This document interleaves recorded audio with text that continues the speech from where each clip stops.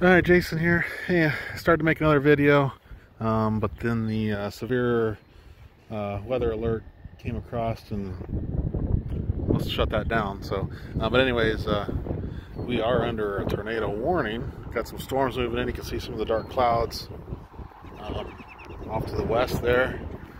Um, on the side of the tree here, that's more the west. Get the stick out of my tree. Um,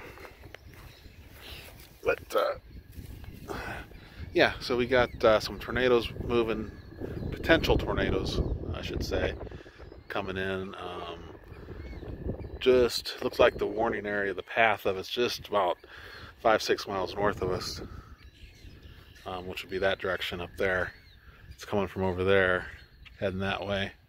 Um, don't know if there's an actual tornado or not, but uh, you know, they send out the warnings pretty quickly, uh, which rather be safe than sorry.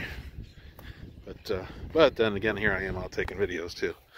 So, uh, anyways, um, if you're in this area, this is uh, northeastern Ohio, and and if you're in the area, there's some storms coming, and there's some bad ones. There's uh, that warning up there, and then there's another warning I was checking a few minutes ago um, and actually that one sounds like it might hit this one down more towards the south, southwest yet.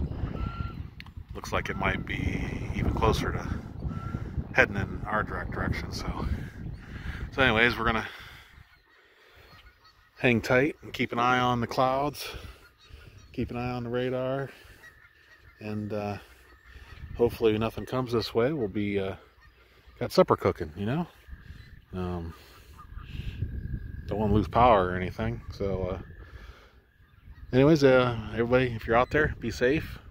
Um, and uh, we'll catch you catch you a little bit later. God bless.